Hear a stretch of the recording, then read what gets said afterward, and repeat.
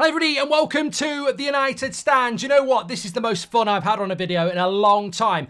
Who are the top five worst Manchester United transfers in the last 10 years? Get in the comments because you're going to be different to me. I, I, really have had fun doing it, but in a sad way. You know, like, so how I've judged this, I mean, and some would say Onana's the worst signing we've made, made. And I'm sure some of you might put Onana in there. I haven't. Spoiler alert, I haven't. But I suppose the fundamentals of the Onana deal could maybe put there because what I've looked at really is how much we've spent on it, the impact it's had on the team, wages, what they went for, etc., etc. So with Onana, you could go, well, we had a goalkeeper that was very good. We let him go for nothing, and then we spent 50 million pounds to replace him with somebody that's not doing very well and cost us European football. So you could do that. And there are some notable absentees in my top five that I will bring in uh, intermittently into this. But my first player I'm going to put in, and look, I'm not individualizing this as well. It's not necessarily about the player, it's about the deal. So my first one is going to be in at number five. It's going to be Harry Maguire. Now, Harry Maguire signed for Manchester United for 80 million pounds. He's had 129 appearances, four goals, and he's won a Carabao Cup. The reason I put Harry Maguire in at number five, and look, again, let me just give you a couple of other names as well. Potentially, you could have gone with, well, maybe you will go with, you could go with somebody like Schneiderlin. Schneiderlin came into Manchester United with quite a lot of hype and he was going to solve our midfield issues. Same time as Schweinsteiger, this double signing. You could say as a double signing, that was a complete and utter, you know, failure. But the reason I've got Maguire in at number five is because of the fee. The fee of 80 million pounds for any centre back is extraordinary. To do it, you know, what was what, four, five years ago is incredible. I mean, that would be equivalent of 100 million pounds with inflation today. And Harry Maguire started off quite well. Um, he was given the captaincy way too soon. I think that damaged him. I think it, I think he was, you know, he's the sort of character that wanted it. And this season he's done okay. But for 80 million pounds, he's done okay. Just isn't enough. And and I think this is one of the big factors I've done with my top five. It's about the signings. It's about how much we spent on them. It's about why we've done that. And and you know what? Ineos should probably watch this video because they could probably learn a lot that they'll learn anyway. But my number five is Harry Maguire, just simply because to spend that amount of money, 80 million pounds on a centre back, and Van Dijk had gone to Liverpool not that long before that for 75. You look at what Van Dijk did to Liverpool, he was revolutionary. You look at what Maguire did to Manchester United, he was just is he any better than Lindelof? You know, it's not his fault. We're talking about transfers. The player makes the move. You can't blame him for wanting to come to United. But for me, he would be my number five. And also staying relevant as well. Here's number four. This might shock you as well. Antony is going in at number five. Now, this will shock people because they'll be like, you like Antony. And I do. I do like Antony. But it's got to go in there as in my top five worst transfers of the last 10 years. Again, simply because we spent 82 million pounds on a player that at top value was worth 50. 42 appearances, 4 goals, again a Carabao Cup winner. But he's not been here that long. He hasn't been here that long, and I think you've got to be careful about players that are still at the club because he can still shine. But will he ever be an 82 million pound player? And remember, we were linked to Ajax Antony in June. We didn't buy him until the end of August. That was the summer where Ten Hag had left and most of the team left. And with every player leaving, Ajax bumped the price up. We paid more for Martinez as well, who is definitely not in my top five, by the way. The reason I've put Antony at number four is simply because the price was ridiculous. We got bent over by Ajax because we're rubbish at transfers, and instead of being efficient and going for a player that Ten Hag wanted when he first came to the club, we waited until the end of the transfer window, paid nearly double what he was worth, increased his wage reportedly from 20,000 to 200,000 tenfold, and gave the agent God knows what. As a transfer, it's abysmal. I hope Antony can deliver, and again, it's not his fault but as an actual deal, terrible. Another contender that didn't make it in, I'll, I'll throw some in. We mentioned Schneiderlin before, he didn't make it in. Donny van der Beek. And I want to check the comments because your top fives are going to be very different to me. I would implore you to take your time on it. Donny van der Beek has got to go down. Maybe not in the top five, but it's another bad one. And I, can I just say as well, when doing the top five, you'll struggle to do a top 10. You'll have to miss ones out. That is horrific to have so many contenders for terrible transfers over the last 10 years is a bad, bad indication of just how badly Man United have been running this area. But Donny van der Beek, a reported £39 million signing. Doesn't sound a massive amount, but what did we get for that? Next to nothing. And he's now on loan, God knows where, with no sell-on value, earning wages. Um, terrible, terrible. You could even say Anthony Martial. About £55 million spent on him wages probably another 50 million. 100 million pounds on anthony martial. There were there has been high points but for 100 million pounds has there been enough? I wouldn't put martial anywhere near my top five but it might be a consider for you. So Antony number four. Uh, number three yeah I, i'm stuck on this. I'm gonna do it. Okay. Another winger. I'm going to put Jadon Sancho in because if you're going to put Antony in, you've got to put Sancho in. Remember, Sancho's been here longer than Antony, two and a half years. We chased him for a year, 73 million pounds, maybe a little bit more, but let's say 73 million pounds. 58 appearances, 9 goals. Doesn't sound terrible, but Carabao Cup winner came on for the last 7 minutes in the final, back at Dortmund on loan. As a deal, he could come back and reignite his Manchester United career. Who knows what could happen in the future? But what I would say about this is that it's it, again, I, I had to put it in because it's a deal. It's a deal, isn't it? And also, he's just spent the last three months not playing, refusing to play, not playing. Who knows? We've just paid him probably four and a half million pounds over the last three months for doing nothing. So, as a transfer, you've got to take everything to in account.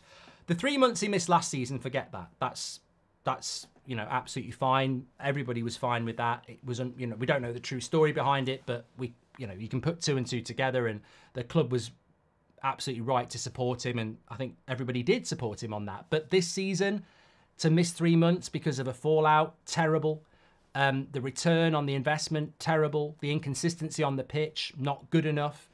I think back about the times he's not tracked back, etc. It's just not worked out. And the big, big problem I have with this transfer, because we're talking about transfers, we're not talking about the players.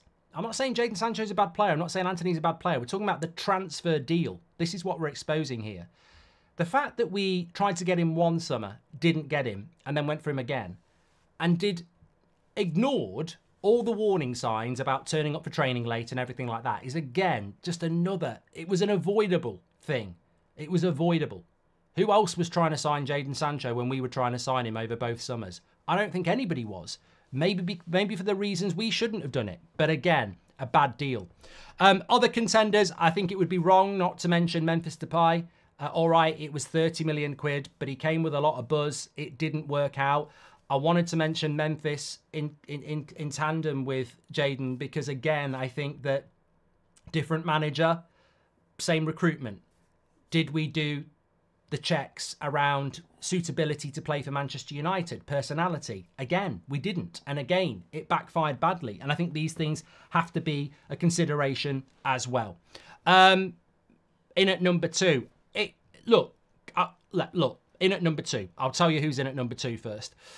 Can't wait to read a lot of yours, but in at number two for me um, might be a bit controversial, if I'm being fair, but uh, Paul Pogba in at number two for me actually 154 appearances, 29 goals, Europa League winner, Carabao Cup winner, both in the same season. Pogba had signs and moments of brilliance. And I was always a fan of Pogba. Um, 89 million pound signing. I was always a big fan of Paul Pogba, um, as many people will know who watched the United stand for for a longer period of time. I think Pogba, at his best, was unique in the sense that he was a player that Manchester United could sign that that signed. We never should have let him go to the Juventus when he was a kid. We signed him. One of the few players in football in the midfield that can get the ball and run past somebody. I think that this I think Pogba wasted his talent. I think that we watch football now and it's all pass between the lines, you know, press as a team. Uh, nobody takes anybody on. And I think there's an evolution of the game that Pogba would have suited perfectly. His ability to, you know, skip past the player, his close ball control. It just didn't work out. And again, was there anything that could have been done around the personality there? Did we do everything that we needed to do? Injuries were obviously a factor. His agent and the people around him were obviously a factor. There was there were issues where Mino Raiola was doing interviews, etc. Um, but the big reason I put Paul Pogba at number two was because we didn't maximise what we had. An amazing talent. And I don't know the full reasons why that was. Personality, people around him, you know, the club, player power, you know, uh, all sorts of stuff. But the big thing for me is 89 million pounds from Juventus, free transfer back to Juventus. I mean, that's horrific. You've got to look at it in its entirety. And yeah, he won a Carabao Cup, he won a Europa League in that first season, and then was rumoured to be part of the movement that tried to get rid of Mourinho and did. Um, player power. The advent of player power happened with Pogba. Not him on his own, but yeah, did. Um, so look, really, um, I don't like putting Pogba there, but I have uh, because I'm looking at, as I said, I'm looking at, I'm not really looking at the player. Obviously, none of these players lived up to their hype, but I'm looking at what we paid the player, what we got for the player when they left, how long they were here, how much we paid for them at the start, wages, personality, issues, player power, you know, all of that. So Pogba's my number two. Surprisingly, I think we'll see Di Maria in a lot of people's top five. He doesn't make my top five. Di Maria is not in my top five. The reason I haven't put Di Maria in the top five is it was a disaster of a signing, but it was a quick recovery. We spent 60 million pounds on a player we never should have bought. He didn't want he didn't want to come to Manchester. He slagged Manchester off, but there were some positives, very glimpsed positives. I remember the goal against Leicester. We made a mistake with Di Maria for 60 million and we got rid of him, or he got rid of us within 12 months, and we got 44 million back. So, as much as it was a bad signing, as a transfer, we've made much worse financial decisions. We got we spent 60, we got 44 back in a year. So for me, yes, it was a mistake, but for whatever reason, we dealt with that mistake really, really quickly. So that's why he didn't make it number five into my top five. My number one, I'll be surprised if you haven't guessed it by this point. Um, look, you could have a completely different top five. You could have different order to my top five. It's got to be Alexis Sanchez for me. Um, I just think that this signing was just abysmal, absolutely abysmal. You know, the piano playing, the hype, how long it took. There was no real transfer fee, is what people think. Well, there was. It was a swap deal with Mkhitaryan, which again was another failure. I mean, Kagawa could be in there. There's so many, so many transfers we haven't even mentioned. You could put Juan Mata in there because we never used him properly, and how how much we paid for him um, is incredible. But Alexis Sanchez, highest paid player in Premier League history, 32 appearances, three goals, one nothing, and to me, that's worse than Sancho, that's worse than Pogba, that's worse than Maguire.